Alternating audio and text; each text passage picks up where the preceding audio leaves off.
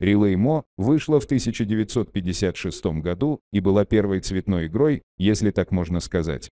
На самом деле, это было название компьютера, который не имел цельного монитора, как такового. Вместо него был набор больших кнопок, которые загорались вашим или чужим цветом.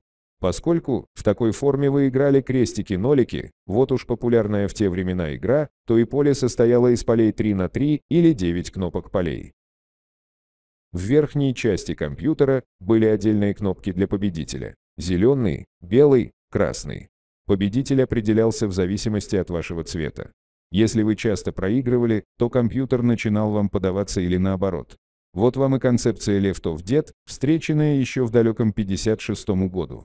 Если вы любите красный цвет, то ставьте лайки и делайте репост, а если зеленый, то пишите комментарии и ставьте лайк.